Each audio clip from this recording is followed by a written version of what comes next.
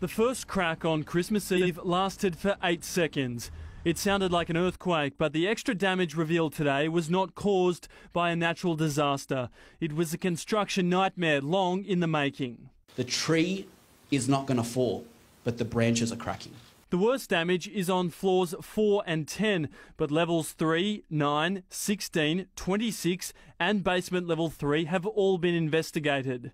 The report stated that several safety and design factors were lower than industry standards. At this stage, we have not been able to identify which of these is materially important versus the design. On top of the damage to vertical precast panels, engineers Mark Hoffman and John Carter found that corners had been cut.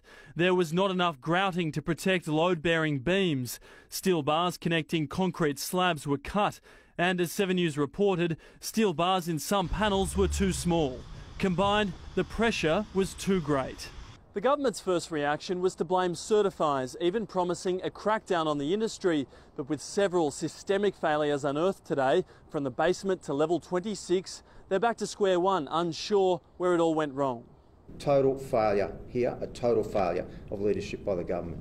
Four days ago, the builder told residents it was okay to go back in, but the body corporate says there's no guarantee the tower is safe. No resident wants to live on a construction site. No owner deserves to have this happen to them anywhere in Australia. The question is what will happen to the building once the hundreds of props holding it up are removed? Tom Saker, 7 News.